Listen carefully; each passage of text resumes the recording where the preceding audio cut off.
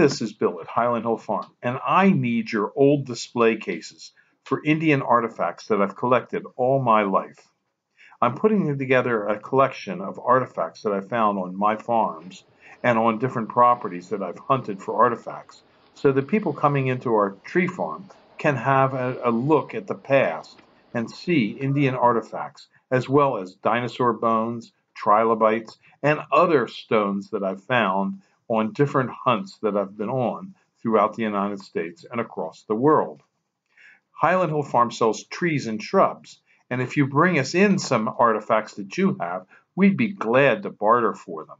We need display cases to display many of the rocks and stones that I've collected.